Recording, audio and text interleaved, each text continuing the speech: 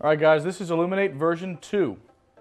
Dan, Yes, do you have a lighter? I sure do. Wow, how convenient. Yes, Okay, hold on to that. doo doo lighter. Yes, we're going to get to that in a second. I'm going to have a card selected, but you know what? Actually, want to, I'm going to. You have a phone on you? Well, you know what? We'll use mine because I don't want to know what kind of text you've been getting. You know what I'm saying? Um, ma'am, would you please take my cell phone and we're going to go to camera mode, which is right. That's my notes. Okay. Here's my camera. I want you to capture this for me because every time I've done this, no one's ever believed me. Ever. Ever believed me that this actually happened before. And when it's all said and done, I'll have a keepsake for my friends and family, and you can have one for yourself as well. How cool does that sound? Let's do it. Need a card selected. All right. So I'm gonna go through the deck. Just call out stop anyway. See the card? Okay. Remember the card? Okay. Now I want you to hold hold the deck in your hand like such. Okay.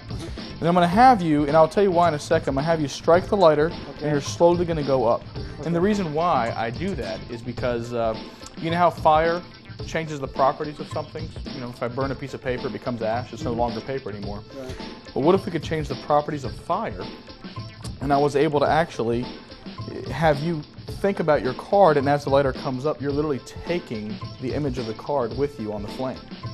That'd be kind of crazy. I know it sounds crazy. I know it sounds crazy. We're going to give this a shot. So go ahead and strike the lighter down here, oh, Yeah. okay, and slowly go up. And camera person, when you see something out of the ordinary, please say stop or throw something at me. Stop. Okay, what do you, what do you see? You see two hearts. What, what did you pick? Two hearts. Okay, let go of the lighter. I'll take the poop lighter. Go through the deck and look for the two of hearts. Okay. What?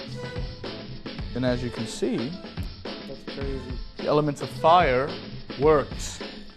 For we have, in fact, taken the hearts from within the flame.